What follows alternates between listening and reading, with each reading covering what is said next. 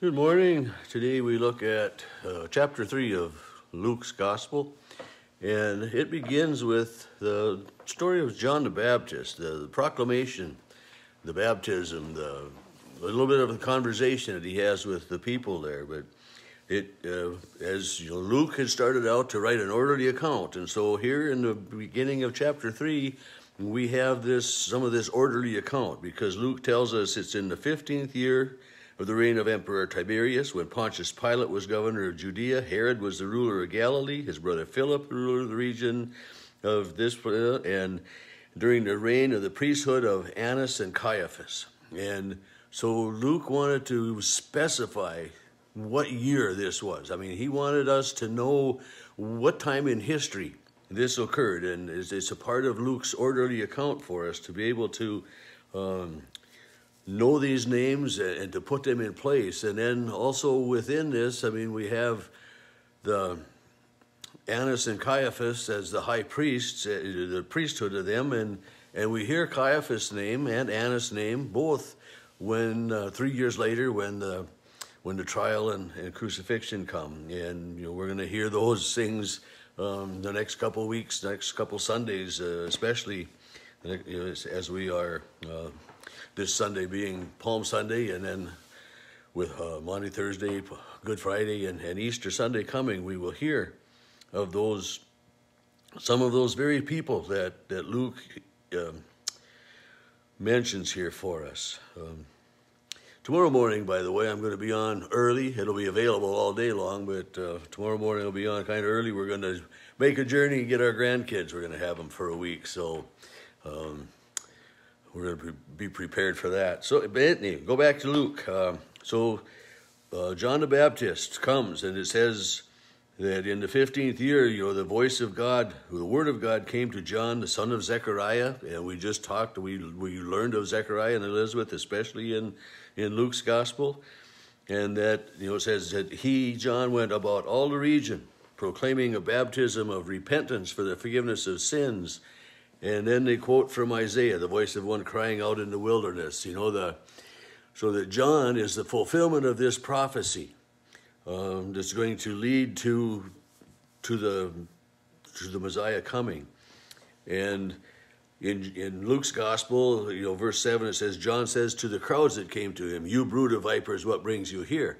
We read in another gospel that he says that to the Pharisees, to the religious leaders, as they come asking John um, what are you doing? And, and also to be baptized by him for this repentance. Uh, but, you know, he, I mean, you know, John the Baptist, he's a, preaching a baptism of repentance for the forgiveness of sins. And if you came to him and he looked at you and he says, Well, you brood of viper, or you viper, what do you think you're doing here? I mean, what kind of warm welcome is that? Not very warm welcome. But it's a reminder for us that that's who we are, that we are sinners in need of a, of a loving and a gracious and forgiving God. And, you know, he asks them, Who warned you to flee from the wrath to come? He says, Bear fruits worthy of repentance. he says, Don't count your laurels on that you're descendant of Abraham or descendant of whoever, you know, because that doesn't do you any good at all. And he, you know, he talks about, you know, the axe lying at the root of every tree, and if the tree doesn't bear fruit, it's going to be cut down. And and uh, he's reminding us all. I mean, those people then and us now as well that all our lives are to reflect Jesus. And um, you know, if the tree gets cut down and thrown into the fire, I mean, that's that's the eternal condemnation that that we that we we read about and we talk about and for those who don't believe in Jesus as Lord and Savior.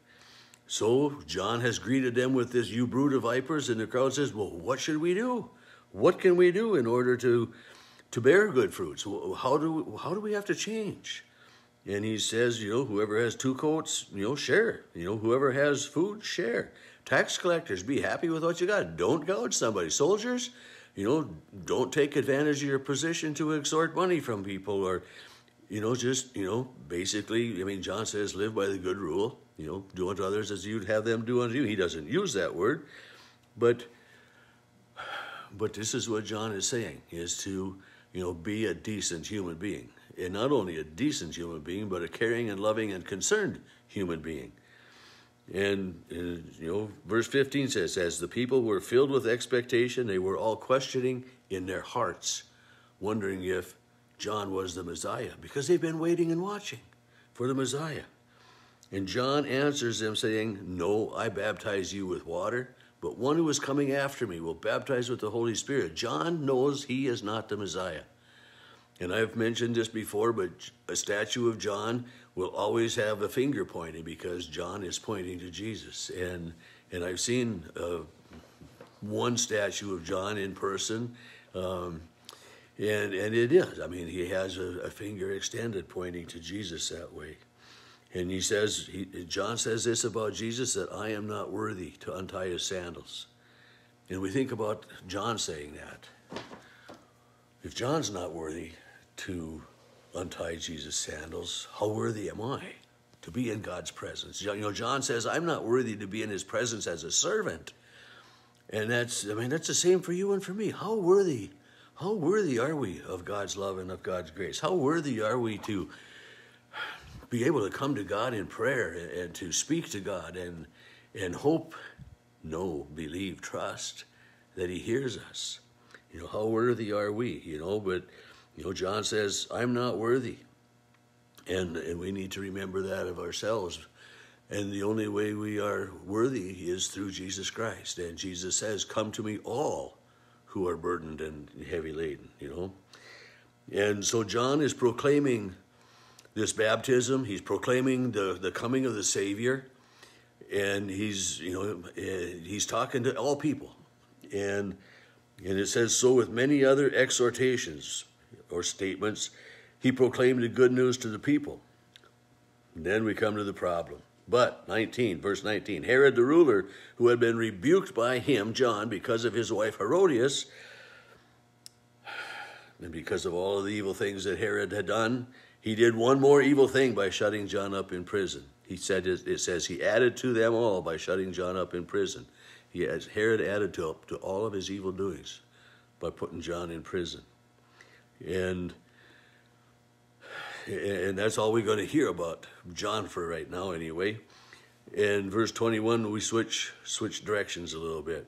Now, when all the people were baptized, and here and Luke has that word all. When, when all the people were baptized, and when Jesus had been baptized and was praying, the heavens opened, and the Holy Spirit descended on him in bodily form like a dove. And a voice came from heaven You are my Son, the beloved, in whom I am well pleased.